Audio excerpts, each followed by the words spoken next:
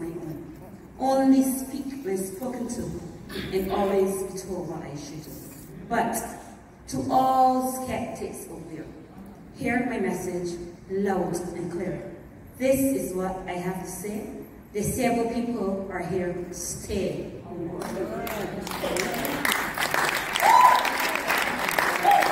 We disabled too have dreams and goals and are determined to fulfill these roles, to strive for them with all our might and never, ever give up the fight. Amen. We claim the right for equal opportunities, for equal jobs and salaries, for equal chance at promotion, and we claim equal transportation.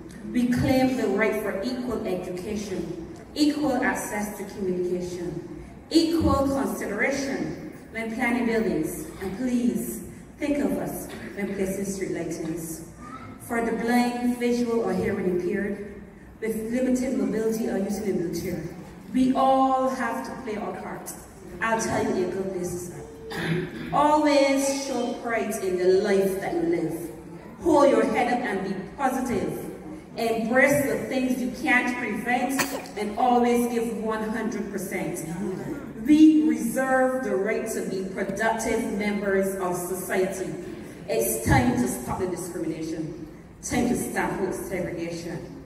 Remember, when God created man, we were part of his master plan.